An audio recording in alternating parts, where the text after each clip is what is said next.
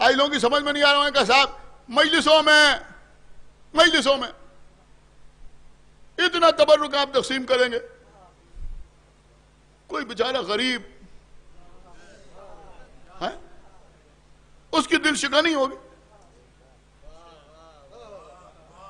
उसकी दिल शिका नहीं होगी।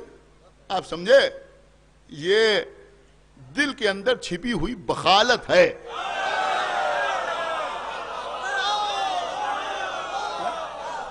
एक सलावाद और बढ़े बढ़ मोहम्मद वाले, जो कहीं ना